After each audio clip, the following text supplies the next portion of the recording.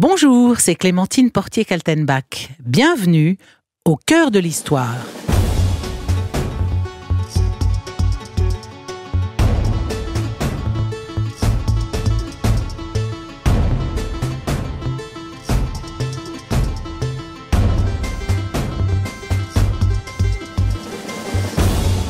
Un rapide coup d'œil sur la vie des quelques 266 papes qui ont succédé à Saint-Pierre depuis 2000 ans montre qu'on trouve parmi eux tous les types d'hommes possibles. Du saint au criminel, de l'érudit à l'illettré, de l'ascète au débauché. Mais celui que je vous propose de découvrir dans ce nouvel épisode en deux parties détient sans conteste la palme de l'abomination. Il s'agit d'Octavien, fait pape au Xe siècle, sous le nom de Jean XII.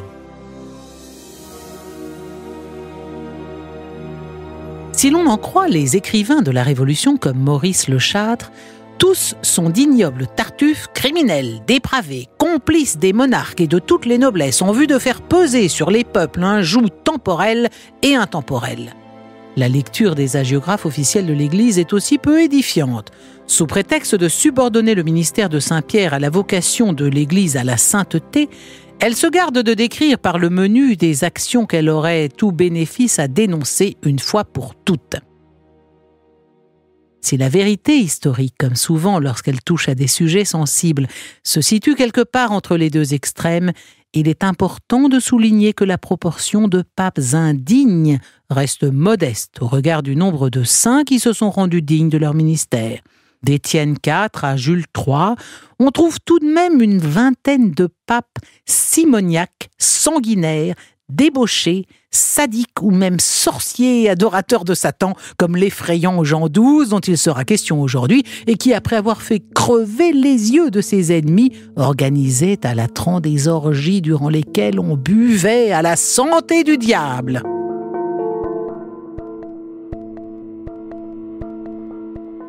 Le sordide côtoie souvent le ridicule, surtout lorsqu'il touche au sacré.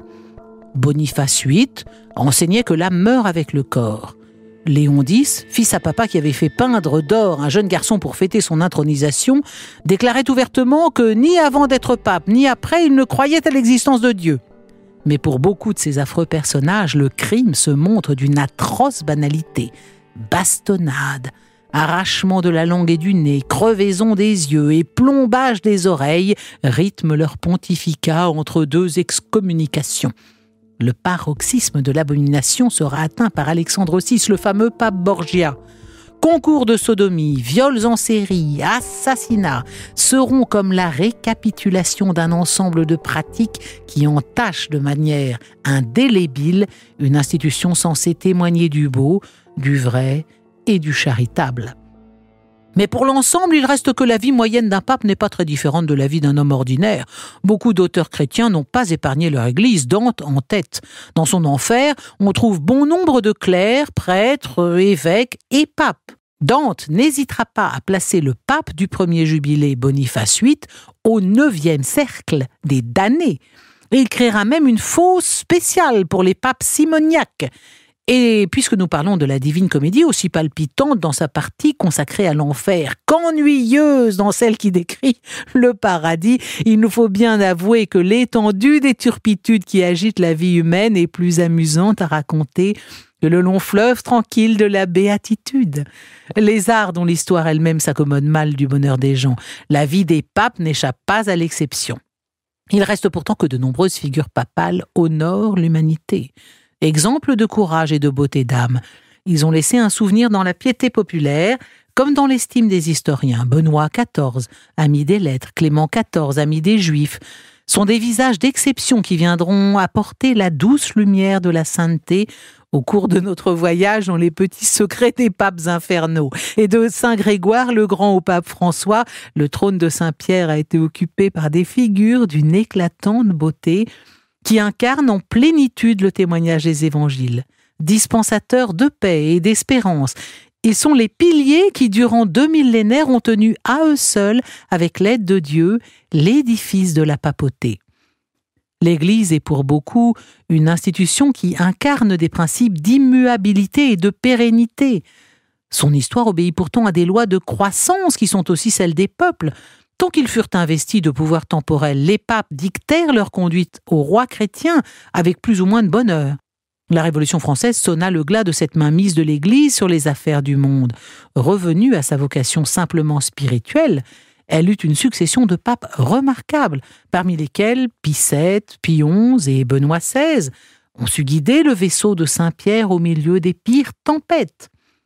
Jean Leflon, brillant historien de l'Église, écrit de Pie VII Il sut dans le chaos être l'homme de la situation, et l'homme tout court. Le pape qui nous intéresse est le dernier d'une liste sordide de souverains pontifes du Xe siècle dont la dépravation a tellement marqué les esprits du Moyen Âge qu'on a donné à leur règne le nom de pornocratie pontificale. Serge III, Anastase III, Landon, Jean X, Léon VI, Étienne VII, Jean XI, Léon VII, Étienne VIII, Marin II Agapé II et enfin Jean XII ont élevé le vice et la méchanceté à un degré qu'il est difficile de se représenter aujourd'hui, mais que la chronique médiévale, toujours empreinte de ce mélange étonnant de naïveté et de crudité, a su rapporter avec précision. Les historiens des XVIIIe et XIXe siècles se firent les relais horrifiés de cet épisode de l'histoire de l'Église que les Allemands appelèrent simplement Römisches Régiment, gouvernement romain des putains. Le jeune homme a élevé le calice en présence des fidèles. Il s'apprête à dire les paroles de consécration quand un écuyer s'approche de lui et lui chuchote vivement quelques mots à l'oreille. Dans l'assemblée, on ne s'étonne pas de voir l'office ainsi perturbé, on a déjà pris l'habitude des frasques du célébrant. Il n'y a que les pèlerins qui se sont étonnés de ce que la messe soit dite par un homme en armes. Ils n'ont sans doute pas cru ce qui leur affirmait que cet individu, à peine âgé de plus de 18 ans, est le pape en personne. Le souverain pontife a quitté l'office en courant, abandonnant le calice et les offrandes sur l'autel. Un clerc interpelle l'écuyer par qui l'incident est arrivé. Que se passe-t-il? Rien, rien. Patientez seulement quelques minutes, la jument de sa sainteté vient de pouliner. Le pape qui célèbre la messe en armes tient à aller embrasser son poulain. Quelques instants plus tard, toute l'assemblée est renseignée. Elle n'est pas en reste. Chacun sait à Rome que le pape aime ses chevaux plus que ses ouailles. Il a pour eux toutes les délicatesses et choisit pour les nourrir les meilleures friandises. Pignons de pain, pistaches, noisettes, dattes, raisins secs, figues trempées dans les meilleurs vins sont au menu quotidiennement. L'écurie est le lieu qu'il aime entre tous. On l'y a vu ordonner un diacre. D'ailleurs, il ne pourrait remplir ce genre d'office euh, au latran. L'édifice saint entre tous n'est pas seulement la demeure qu'il a choisie pour loger sa maîtresse, c'est aussi l'endroit où il se plaît à violer les jeunes romaines venues faire leur dévotion. L'immense nef retentit souvent de ce rire effrayant qu'on l'entend déployer les jours de fête. Lors des grandes cérémonies, il officie sans communier, puis se met à danser de façon obscène en présence de tous entre deux crises de fou rire. Il a acquis l'art de se débarrasser des témoins gênants. Beaucoup sont retrouvés morts quand ils n'ont pas les yeux crevés, le nez coupé, la langue ou le sexe arraché. Lorsqu'il n'est pas à la chasse ou en séance de viol, le pape joue au dé avec ses amis et trinque à la santé du diable. Malgré tout, à ses heures perdues, il ordonne des évêques. Moyennant finance, il marchande sans vergogne les dignités ecclésiastiques. Dans la ville de Todi, il a ordonné un évêque de dix ans. D'aucuns se sont essayés à lui formuler des reproches, parmi eux son père spirituel. Jean XII, fatigué d'entendre ses lamentations, le fit émasculer et lui creva les yeux de ses propres mains. Aucune crainte qui n'ait conclu son crime par une velléité de prière, comme Macbeth après avoir tué son roi. Jamais on ne l'avait vu se recueillir, ni même faire le signe de croix. Les cent années qui séparent la chute des Carolingiens du couronnement du Capet forment une ère ayant un caractère spécial et que nous appelons dixième siècle. Ce siècle est semblable à une matinée d'automne nébuleuse succédant à une eau brillante. La nature est attristée par des vapeurs que le soleil dispersera vers l'heure de midi mais à travers ces vapeurs, le soleil est toujours visible. Il perd, il est vrai, l'éclat de ses rayons, mais néanmoins il reste visible, et en fixant un point du firmament, on peut dire il est là. De même, dans la nuit du Xe siècle, nous continuons à distinguer, sinon le soleil, du moins la place qu'il occupe derrière les nuages qui peuvent bien le voiler à nos yeux, mais non le cacher entièrement. C'est ainsi que s'exprime le comte Dandolo dans son ouvrage Rome et les papes, paru en 1868. Et à la suite du propos cité, de souligner que oui, la chute des Carolingiens a été la source d'un chaos sans précédent dans l'Empire, que oui, les empereurs depuis Charlemagne étaient investis de la mission de donner au peuple la justice, de combattre les perturbateurs de l'ordre et de protéger les prédicateurs de l'Évangile, que oui, l'empereur était de facto vicaire de Dieu dans l'ordre temporel, oui, oui, oui, oui, euh, ces accents romantiques à meuter pour voler au secours de l'abjection ne laisse pas de surprendre à défaut d'indigner. Il est vrai que c'est loin, loin le Xe siècle. Imaginons-nous que cet Octavien proclamé Jean XII se situait aussi loin dans le temps pour le siècle de Christophe Colomb ou de Gutenberg que ces derniers sont éloignés de nous. Et les années ont cette faculté magique d'estomper à nos yeux les crimes les plus ignobles. C'est ainsi qu'on peut raconter aux enfants l'égorgement de Polyxène par les Grecs avec force détails sur l'opération sans crainte de les heurter, quand pour le même assassinat filmé et diffusé sur Internet, on active aussitôt le contrôle parental. Doit-on se résoudre à accepter que dans dix siècles, les crimes pédophiles pratiqués ces dernières années par des milliers de prêtres sur des dizaines de milliers de petits innocents soient enseignés en souriant à des écoliers comme des épisodes d'une sorte de mythologie occidentale du XXe siècle? S'il est une relativité dans les coutumes, s'il en est une dans les âges et dans les civilisations, le christianisme nous apprend qu'il n'y en a aucune dans le crime, et que ceux dont la gravité est telle que les victimes crient vengeance au ciel ne doivent trouver aucun adoucissement sous la plume des écrivains chargés de les raconter. Voici un homme. Il vient de sortir d'une geôle sordide de Rome, où Octavien le retient prisonnier. Il a pour seul tort de s'être opposé au tyran, il sort libre, certes, mais auparavant, on lui a crevé les yeux, coupé le nez, arraché la langue, tranché une main. Allez maintenant lui expliquer qu'il n'a rien à craindre pour la chrétienté, que les temps qu'il vit sont pareils à une matinée d'automne nébuleuse, qu'il ne nourrisse aucune sorte d'inquiétude car le soleil est toujours là derrière les nuages. Et après ces propos sans aucun doute thérapeutiques, à défaut d'avoir été prophylactiques, s'il est encore malheureux, dites-lui que la nature est aussi attristée par les vapeurs qui se sont abattues sur lui.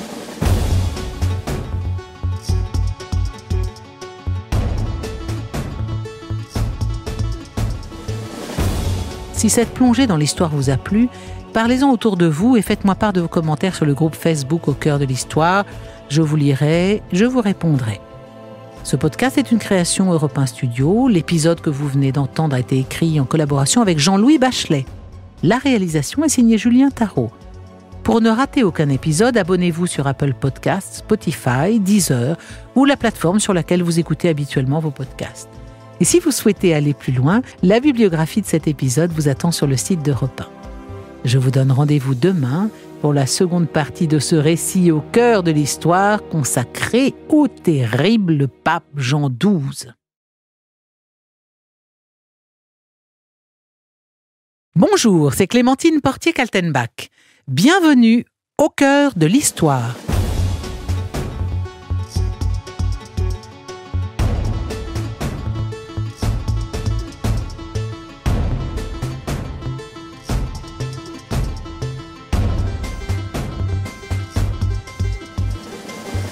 Un rapide coup d'œil sur la vie des quelques 266 papes qui ont succédé à Saint-Pierre depuis 2000 ans montre qu'on trouve parmi eux tous les types d'hommes possibles, du saint au criminel, de l'érudit à l'illettré, de l'ascète au débauché. Mais celui que je vous propose de découvrir dans ce nouvel épisode en deux parties détient sans conteste la palme de l'abomination. Il s'agit d'Octavien, fait pape au Xe siècle sous le nom de Jean XII.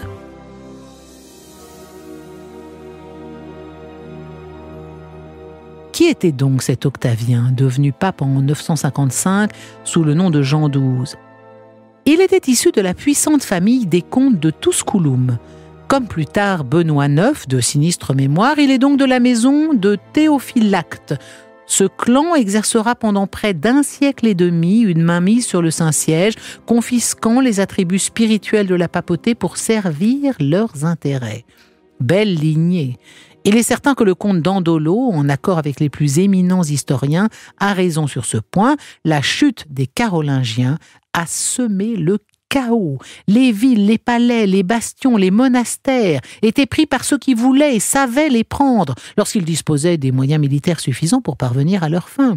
Il est bien connu que lorsque le chat n'est plus là, les souris dansent. C'est ainsi qu'Octavien fut fait pape à 18 ans.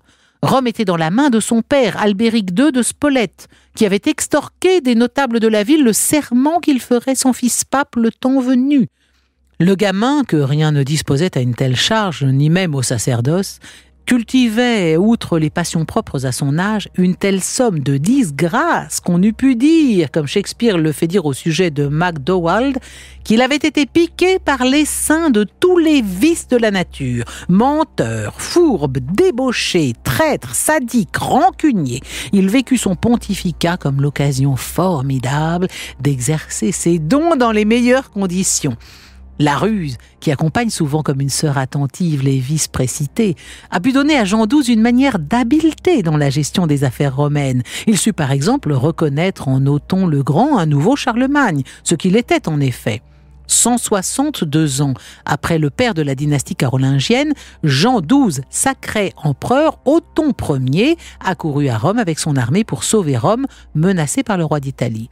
Était-ce dans le but d'affermir la papauté? Non, Seul comptait son insatiable appétit de puissance et sitôt Othon parti, il n'attendit même pas que ce dernier ait quitté Rome pour comploter avec ses ennemis.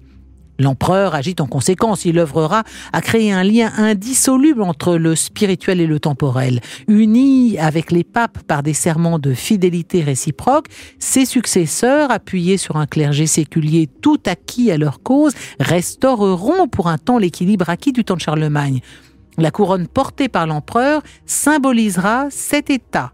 Octogonal, elle représente l'union des deux cités saintes, Rome et Jérusalem. C'est la couronne que portera Saint Louis.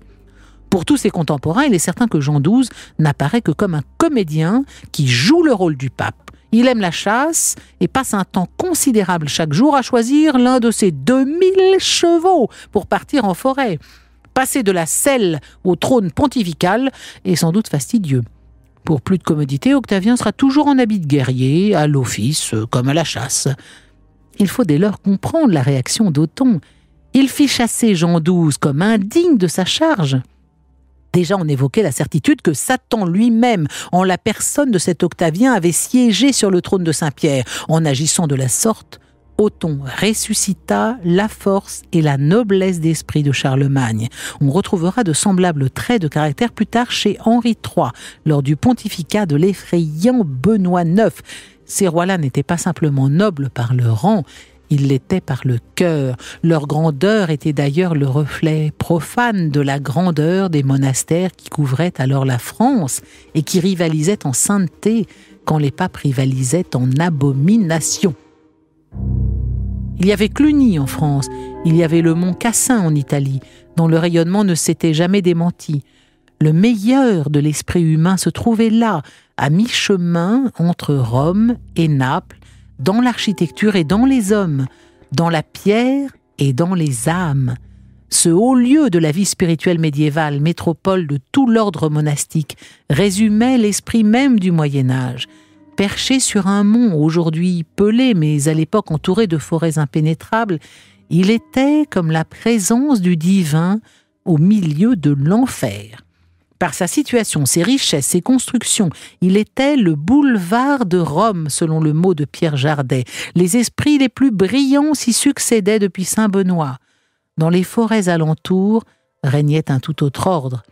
On y pratiquait des rituels païens et toutes sortes de magies, on sacrifiait à Apollon, on sacrifiait au diable. Benoît IX devait en savoir quelque chose, ces forêts étaient son temple secret. Il s'y rendait quotidiennement. Mais le monastère avait mystérieusement survécu aux pillages, aux incendies. Empereurs, rois et simples religieux pouvaient y trouver refuge.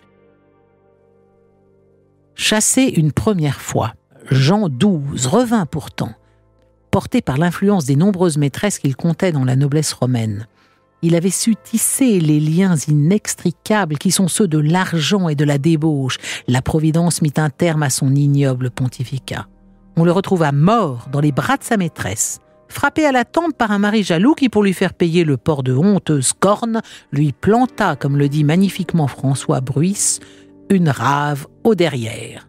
Une rave, ça n'est pas une, betterave ou un navet, c'est un, chandelier à une branche. Donc euh, il est mort dans des conditions assez douloureuses, le malheureux pape Jean XII.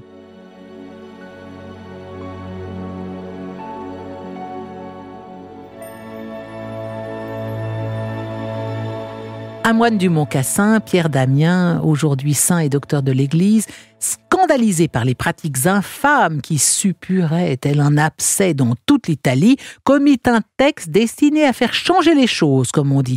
Ce livre, appelé Livre de Gomorre, est un pamphlet contre la sodomie. Il est resté entré dans l'histoire euh, de la littérature sacrée comme une perle du genre. Il importe avant tout de savoir que le Moyen Âge, imitant en cela une certaine terminologie biblique, enfermait sous certains termes un ensemble de comportements. Et de même que la prostitution définissait une conduite hostile à Dieu bien plus qu'une pratique sociale, la notion de sodomie revêtait un sens qui va au-delà de l'acte sexuel. Elle englobait les dissidences politiques et religieuses, au point que dans les réquisitoires de la fin du Moyen Âge, les accusations de sodomie allaient souvent de pair avec celles d'hérésie, voire de lèse-majesté. Ce qui choqua Pierre Damien, ce fut donc une attitude générale du haut clergé et le fait que les pratiques sexuelles de son pape échappaient au châtiment habituellement décidé en pareil cas. Il n'aura d'ailleurs de cesse de réclamer l'égalité des punitions entre clercs et laïcs. S'appuyant sur Saint Basile de Césarée, il rappelait que les clercs et les moines accusés de commerce avec de jeunes garçons devaient être soumis au fouet, en public, leur crâne rasé, après quoi ils devaient être mis au fer et au cachot pour six mois et nourris au fourrage à bestiaux.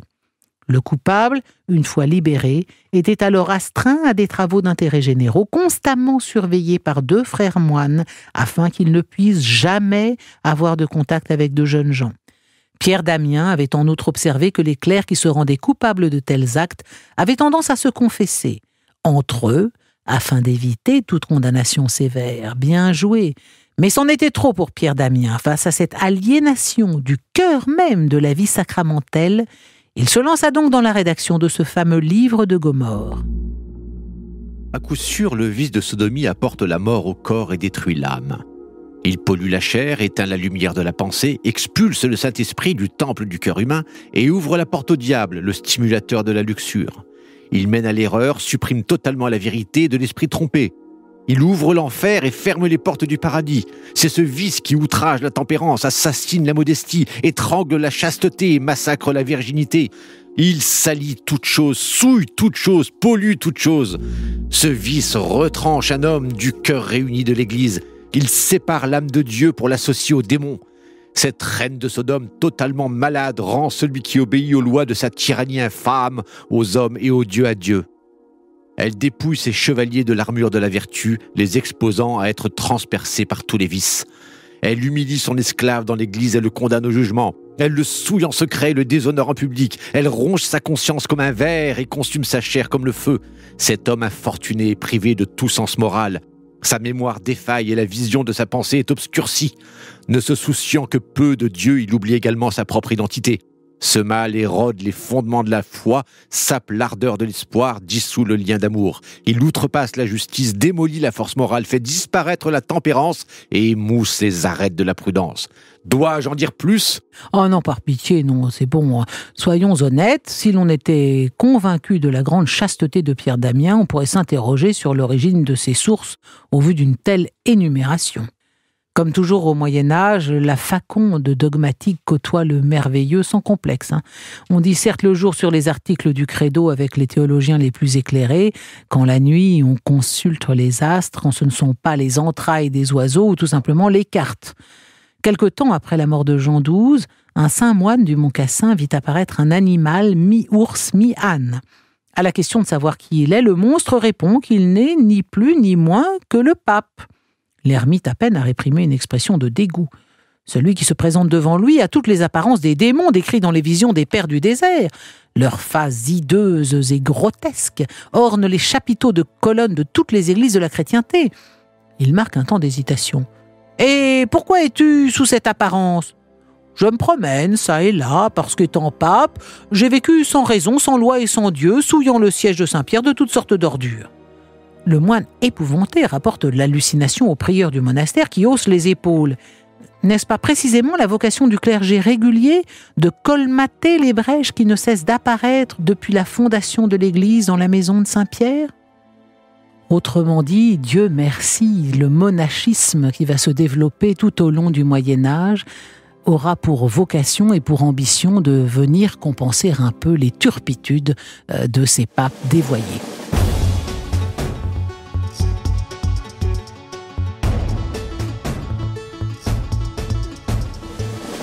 Si cette plongée dans l'histoire vous a plu, parlez-en autour de vous et faites-moi part de vos commentaires sur le groupe Facebook Au cœur de l'histoire. Je vous lirai et je vous répondrai. Ce podcast est une création Europe 1 Studio. Le texte que vous venez d'entendre a été écrit en collaboration avec Jean-Louis Bachelet. La réalisation est signée Julien Tarot. Pour ne rater aucun épisode, abonnez-vous sur Apple Podcast, Spotify, Deezer ou la plateforme sur laquelle vous écoutez habituellement vos podcasts. Et si vous souhaitez aller plus loin, la bibliographie de cet épisode vous attend sur le site de Repas. Quant à moi, je vous retrouve bientôt pour un nouveau récit au cœur de l'histoire.